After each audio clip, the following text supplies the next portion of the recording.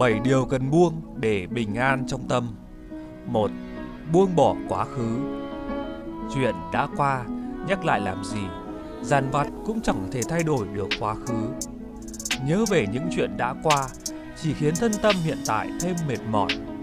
Tâm hồn như một chiếc túi, chiếc túi đầy những kỷ niệm cũ thì không thể có thêm những kỷ niệm mới. Chỉ khi buông bỏ quá khứ, bạn mới có thể sống bình an ở hiện tại. 2. Buông bỏ sự kiểm soát Càng cố kiểm soát, càng mất tự do.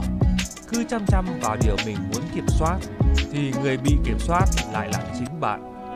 Bạn chẳng thể kiểm soát thiên nhiên, cũng chẳng thể kiểm soát lòng người. Điều duy nhất bạn có thể kiểm soát là chính bản thân mình. Cố kiểm soát là mang gông vào mình, nặng nề và mệt mỏi. Cứ để mọi chuyện diễn ra như vốn có, nhân duyên có số, đừng kiểm soát người, hãy kiểm soát mình.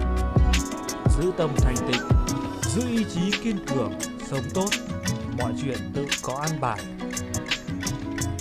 3. Buông bỏ những niềm tin kỳ vọng Vì đâu mà thất vọng? Vì kỳ vọng. Kỳ vọng càng nhiều thất vọng càng lớn. Đừng đặt kỳ vọng quá nhiều vào người khác. Đặt một niềm tin vừa đủ, một sự kỳ vọng vừa tầm để không thất vọng, không suy sụp. Nếu kỳ vọng, hãy kỳ vọng vào bản thân mình và cố gắng để những kỳ vọng đấy thành sự thật. 4. Buông bỏ tham sân si Tham thì thâm, biết đủ mới hạnh phúc Cái gì nhiều quá cũng không tốt Bất kể tiền bạc, danh vọng hay tình cảm Thứ bạn có càng nhiều, nỗi lo được mất càng lớn Thử hỏi, một người lo được lo mất Thì hạnh phúc ở đâu, bình an ở đâu? Vậy nên ở đời, biết đủ là hạnh phúc Tâm không tham, đời sẽ bình an. Cũng đừng sân si chuyện đời. Mỗi người một cuộc sống gieo nhân nào gặt quả đấy tập trung vào bản thân gieo nhân lành ăn gặt về điểm tốt. Luật nhân quả người làm việc xấu sẽ gặt nhân xấu. 5. Buông bỏ sự hoàn hảo Đời người không có hoàn mỹ, chỉ có hoàn thiện Ai cũng có sai lầm, ai cũng có khiếm khuyết không một ai hoàn hảo. Vậy nên, đừng cố chấp tìm đến sự hoàn hảo. Hãy chấp nhận những điều chưa hoàn hảo của bản thân, của người khác. Yêu thương và sửa đổi những điều đó.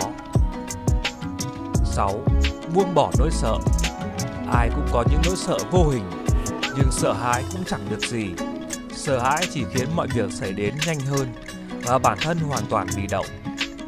Vậy thì thay vì sợ hãi, sao không mạnh mẽ đón nhận tâm thế sợ hãi khiến bạn mệt mỏi bị động giam lỏng tâm trí nỗi sợ cản bước bạn đến với thành công bình an vậy nên hãy buông bỏ nỗi sợ vượt qua giới hạn và mạnh mẽ tiến về phía trước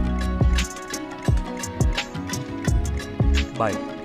Buông bỏ những thứ không thuộc về mình.